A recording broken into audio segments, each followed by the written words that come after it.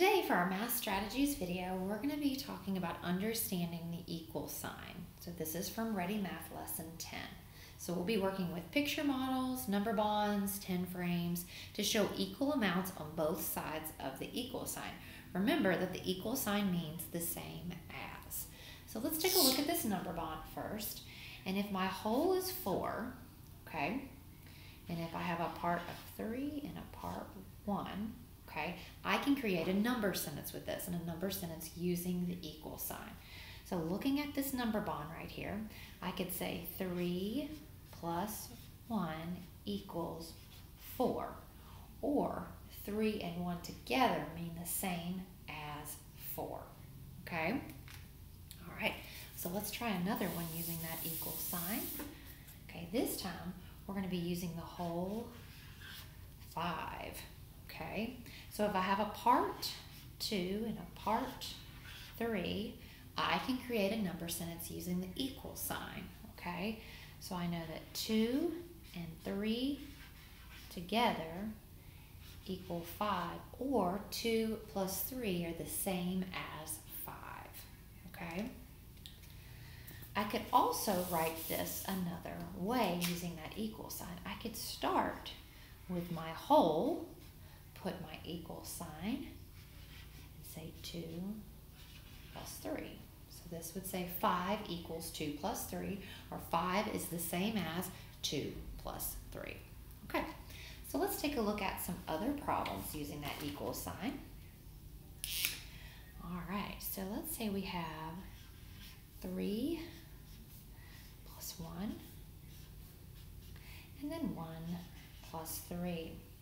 So looking at this number sentence right here, um, is are they equal? Does 3 and 1 together equal the same as 1 and 3? Let's see.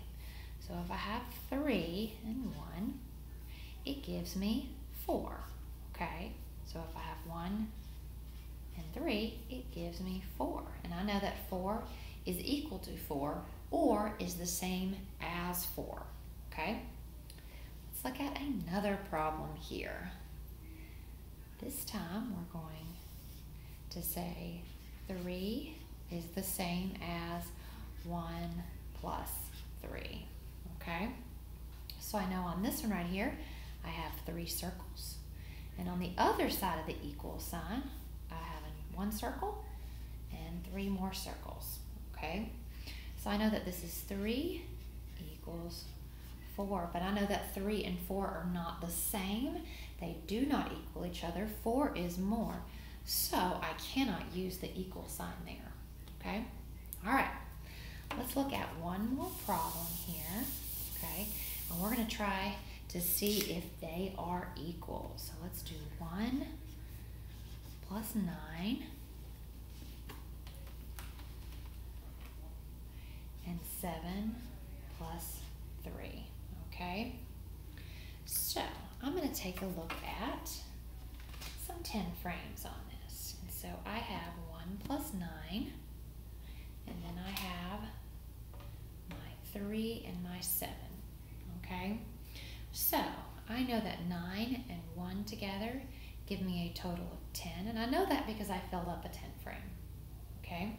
And then I know that 3 and 7 together give me 10 because 3 and 7 are number partners for the number 10.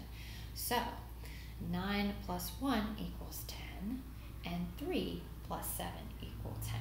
So I know that these equations do equal each other because 10 is the same as 10 or 10 is equal to 10.